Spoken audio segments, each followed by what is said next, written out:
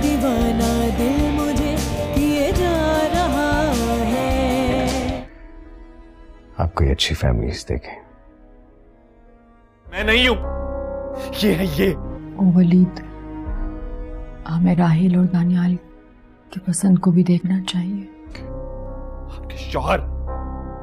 मैं सोच रहा हूँ कि अब हमें दानियाल और राहिल की शादी कर देनी चाहिए। अरे जो बाप कहलाने के लिए तरसते थे। मामा को समझाएँ? क्यों चाहती हैं वो? आप ही रातों रात घर का काम सीख जाएँ। तनहा थे वो! तो टूटे उठा मैं तुम्हें कैसे समझाऊँगा? बाबा आप हुए बर्तनों को समेटने की क्या ज़रूरत थी बेटा? किरचियाँ तो समेटनी पड़ती हैं ना अबू।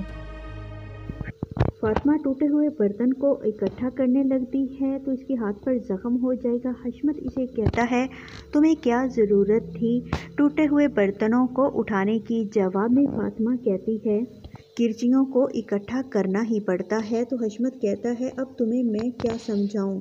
पास खड़ा फातिमा का भाई कहता है आप फातिमा को नहीं बल्कि अम्मी को समझाएँ उन्हें क्या सूझी कि वो रातों रात फातिमा को घर के काम सिखाना चाहती हैं? राहील की वालदा राहील से कहती है कि तुम बहुत एहसान फरामोश हो।